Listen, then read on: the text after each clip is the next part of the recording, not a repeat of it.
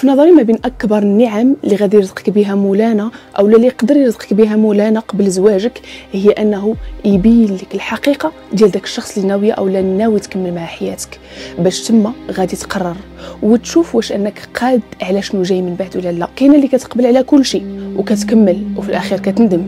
وكاينة اللي كتبغي راسها وكتقول ما مسلكانيش طريقه نتسنى خير حسن منه. حكاية الليلة. زينب غادي تقاسم معنا القصة ديالها. غير هو في النهاية غادي تحتاجنا حنا كمتابعينها. سلام سلام. مرحبا بكم على قناتنا اليوتيوب إسلامي لي كنتمنى أنكم تكونوا بخير وعلى خير أموركم هانيه وحوالكم طيبة.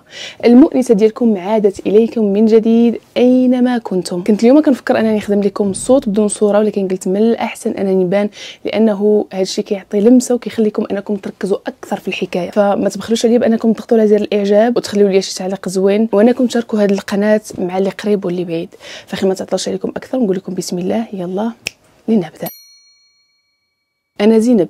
كبرت في واحد الجو اللي هو الحمد لله. حنا بينا سبعه ديال البنات. كبرنا وسط الجو عادي جدا. صحيح انه دوزنا واحد الفترة من حياتنا كانت عويصة فاش بابا خان ماما. ووصلوا الطلاق لكن دخلوا العائلات وصلحوهم ومن بعد غادي يديو مناسك الحج. من بعدها غادي تولد أختي الصغيرة. من بعدها عشنا حياة اللي هي عادية. نتاع جميع الأسر المغربية. مرة هابطين ومرة طالعين. حاجة اللي كانت عادية جدا. كنت في قريتي غدا مزيان في الابتدائي. ملي طلعت الإعدادي كانت شوية ديال المراهقة وراكم عارفين.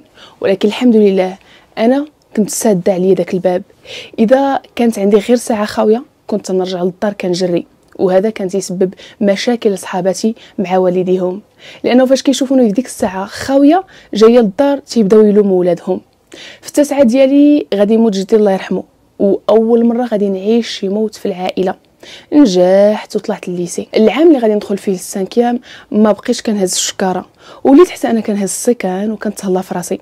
درت صحابات وتطلقت مع القسم ديالي. ولاو كيشوفوني وتيقولوا هذه فيها العياقة ومتكبرة. كان واحد الولد معنا في القسم ما كنتش كنتعامل أنا وياه نهائيا بحال المش مع الفار. إذا جا هو وقف في الجماعة أنا تمشي. إذا داز حدايا تيقول لي لطيف ويمشي. وأنا كذلك. إذا كلا شي حاجة كنت نعايرو حيتاش ما شاء الله كان عامر. طلعت للسيزيام وطلع معايا في نفس القسم. والأستاذة ديالي كانت كتقول لي أنت واحد المادة تحكمي في القسم كيف ما بغيتي. أجي لبلاصتي أنا عطاتني هذه المهمة لأنه كنت متفوقة. فكانت تقول لي طرحي الأسئلة اللي بغيتي والتلامذ خصهم يجاوبوك. وحيتاش أنا ما كنتش كنحمل هذا الدري اللي غادي نعطوه لي اسم تاع مراد لأنه غادي يعيش معنا القصة كلها. فما كنتش كنحملو.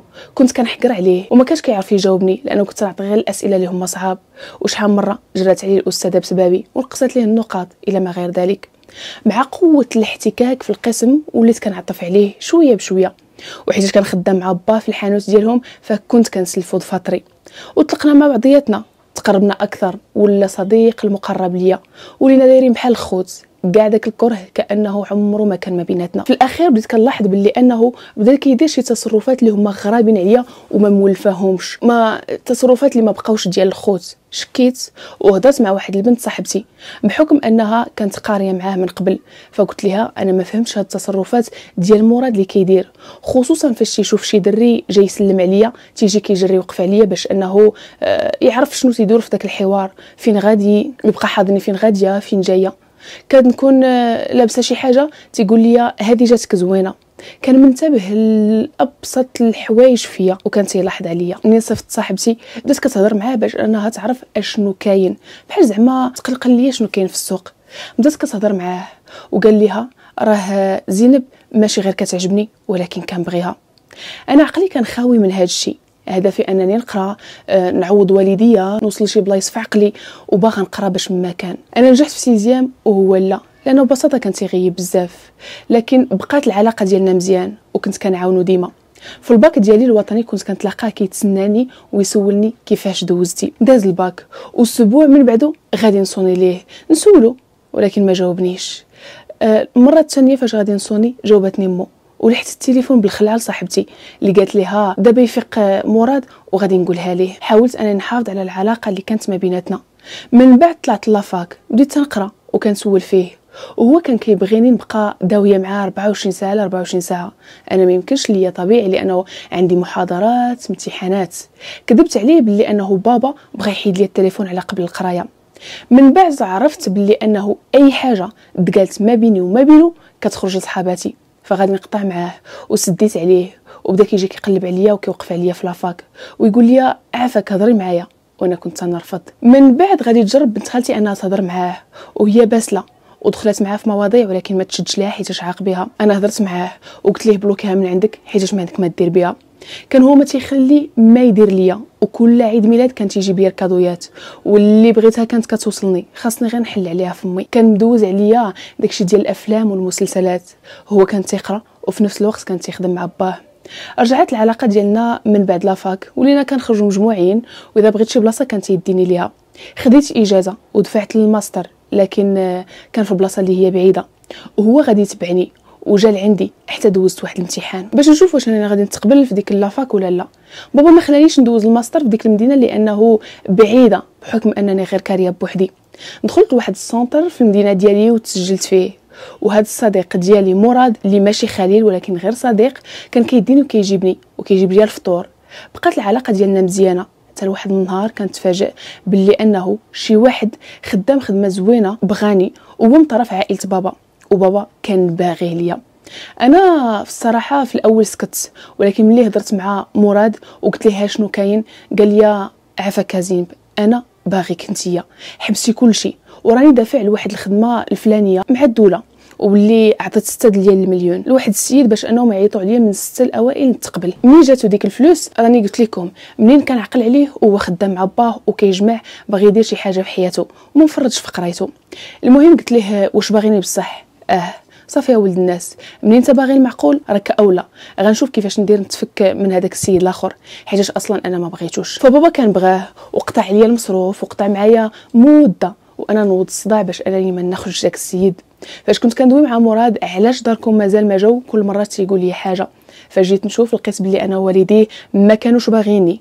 وكان تيبكي عليا وتيقول لي صبري عليا. حيت أنا والله ما نخليك. وراه ما يمكنش نجي لداركم بوحدي. حيت باك غادي يرفضني. خص والديا معايا.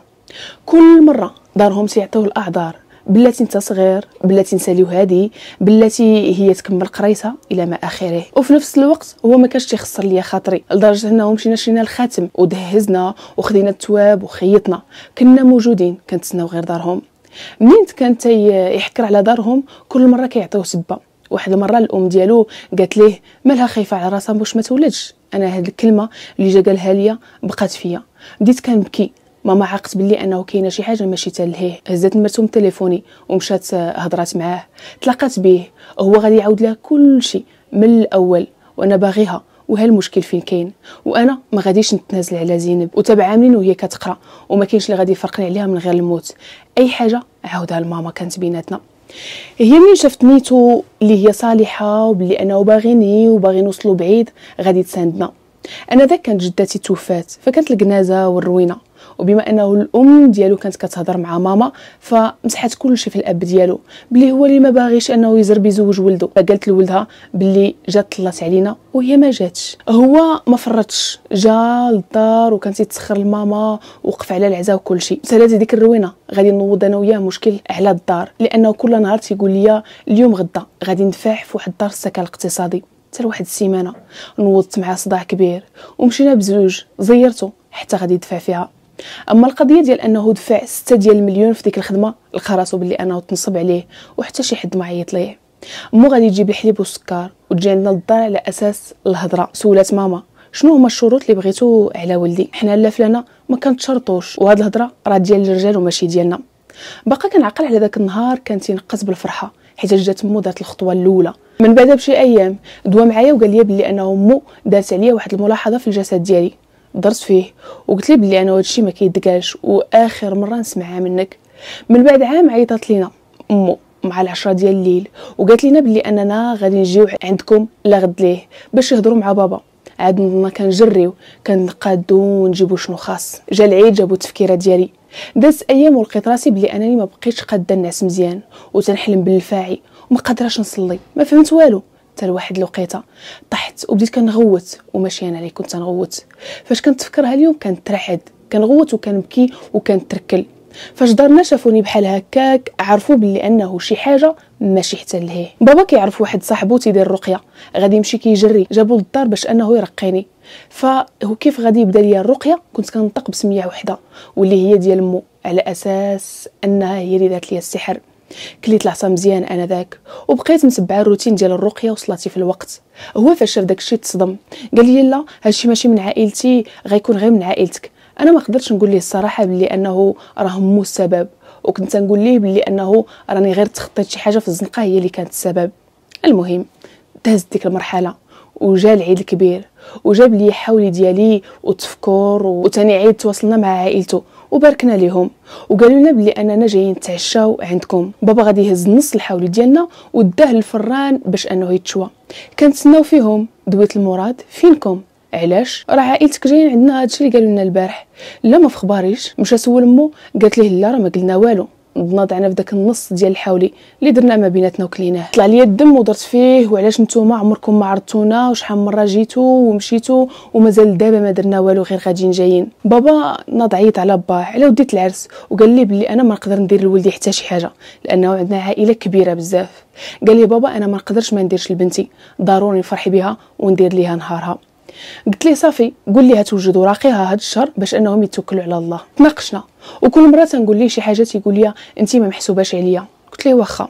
واحد النهار مشيت سخرت لماما. نضعت بني علاش كتخرجي قلت لي أنا ما محسوباش عليك. ونوضنا المشاكل وكبرات القضية. مو ليا. وقلت ليها ها شنو قال ليا؟ قالت لي نتوما ما نفهميش. وقطعت عليا. مو عيطات لماما. وقالت لها بنتك ما مربياش وما صالحاش ليا. وبنتك آه كانت عايشة مع ولدي في الحرام. ملي الأم ديالو كانت كدوي مع ماما بابا غادي يسمعها. أنا نضت صونيت ليه ديك الساعة؟ قلت ليه شنو كاين وشنو كاين؟ قال لي صافي هاد الشيء علاش معيطه ليا وما تيقنيش. من بعدها بأسبوع مشيت درت شهادة طبية على العذرية ديالي عند ثلاثة ديال الأطباء. صورتهم ماما وصيفطتها لمراد عاد ديك الساعة تاق بلي أنا وداكشي راه بصح وبلي أنا القضية راه كبرات ونوض قربالة مع دارهم وجا كيطلب السماحة من والديا. وغادي يتفقوا على أساس أنه العرس غيكون مورا راس العام. ملي وصل الوقت ما جبتش ليا الموضوع. فكرتو تيقول لي داكشي ما بيني وما بين باك. مراد راه قال لي بابا إذا ما جاوش دابا راه عمرني ما غادي نعطيهم فرصة واحدة أخرى. داز داك النهار الموعود بلا والو. أنا أنا ذاك بلوكيتو. وحيدت كلشي ديالو من عندي لأنه جاني كيتفلى عليا داز ثلاث شهور مشى جمع العائلة لكن بابا رفضهم. هو خلى حتى ما كان حتى شي حد. عيط الخالي اللي غادي يحل ليه دارنا وغادي يذبح عندنا الحاولي. وعلقوا ومشى في حاله باش أنه يصلح الغلطة ديالو حيت بابا ما قبلوش. بابا جا تيبان ليه بلي أنه الحاولي معلق تما ما فهم حتى شي حاجة. شرح ليه خالي شنو واقع وقنعوا بلي أنه الله يسامح. مشينا عند العدول وسولنا علاش تفاهمتوا قلت ليه بلي أنه غيخليني نخدم وكتبناها في واحد الكونطرا بيناتنا. مشيت للدار تفارقنا لا غد ليه تيدوي ليا.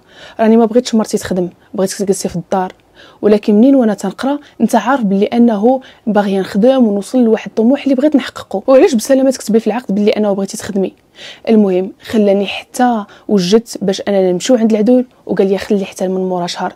حيت عائلتي دابا؟ راه ما بغاوش يجيو. أنا ما سوقيش. سير جيبهم. راه بابا دار مع العدول من مورا العشاء باش أنهم يجيو. وراه حنا موجودين أصلا العشاء مشى جاب مو. وهبطوني أنا بالدموع.